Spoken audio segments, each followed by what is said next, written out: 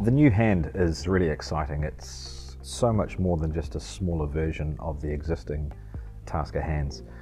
It's everything you'd expect from a TASKA hand. All of our TASKA products, we like to ensure that they're waterproof, that they're robust, and that they're easy to use. And you absolutely get that with the new small hand, but we've added a lot more to it.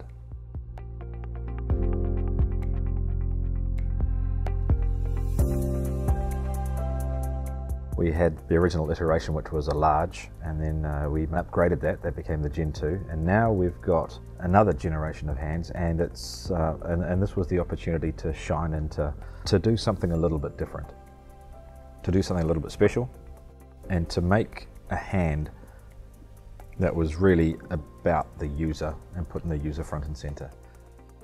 So with the small hand, we've made some significant improvements.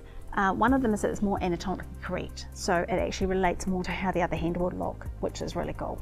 We've improved the motors and, and the performance in general, plus an opportunity to improve all of the software that runs the hand. So it's a great opportunity for us to just lift the product to the next level.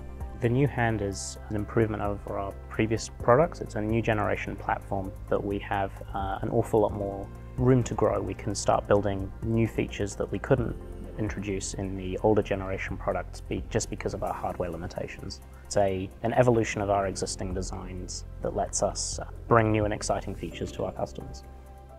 So as we've been in market for the last three or four years, we keep on getting the question, hey, when are you going to bring that small hand out? When are you going to have one that meets my patient's needs?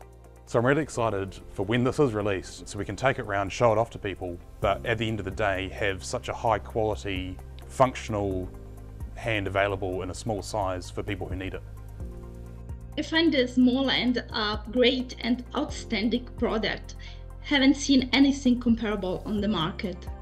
Uh, we had the chance to present the small end at the exhibition uh, OT World in Germany last May, and the reaction was uh, very positive. So one of our key customers told us it was the highlight of the whole exhibition.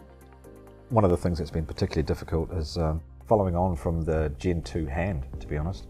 Uh, the Gen 2 hand uh, made such an impression in the market, and we've got such high expectations that the question was, well, how do we beat that with the next product that comes out? How do we do that as a company?